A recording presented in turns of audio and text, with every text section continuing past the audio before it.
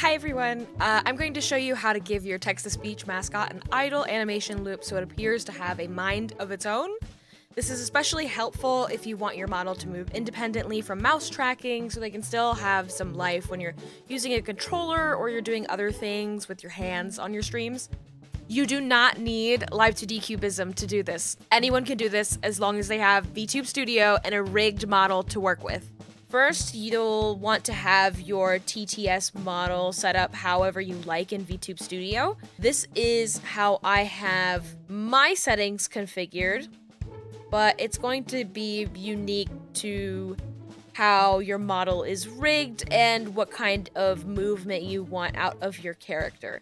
For example, Zbat here doesn't have eyelids, but if he did, I could track my own blinking or use the auto blink feature. You can use your own face tracking or use mouse tracking or a blend of both. It just comes down to personal preference. With one exception, your mouth tracking. You'll want this to be set up to work with VTS POG or another text-to-speech tracking method. POG Online Poggers. Don't use your own mouth for tracking here, it's just going to mess things up. Once you have everything set up how you like, I recommend duplicating your files, so you can have a backup version of your character. And then I usually label the two characters just so I can keep track of them. One of them will be sentient, and the other one I will name obedient. Then, on our sentient model, go to your camera settings. Scroll to the very bottom and you'll see this box right here to record Live2D animation. You'll want to change the recording length to the longest length available, which is 60 seconds, and then you'll want to hit start recording. We'll want to record some naturalistic movement, so what we're going to do is open up neopets.com and just sort of browse around for a minute or so.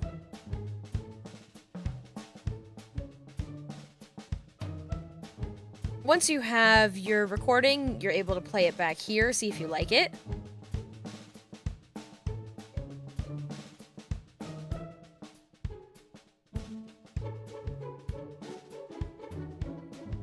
And then you'll save your file.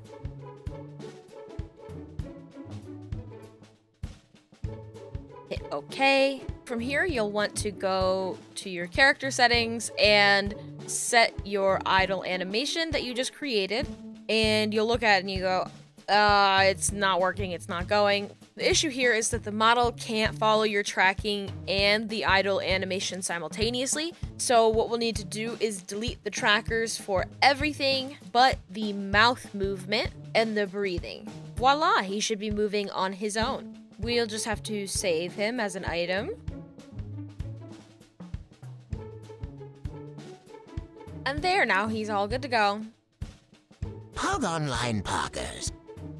If you do have access to Live2D Cubism, you can actually record multiple idle animations and then string them together for a longer loop.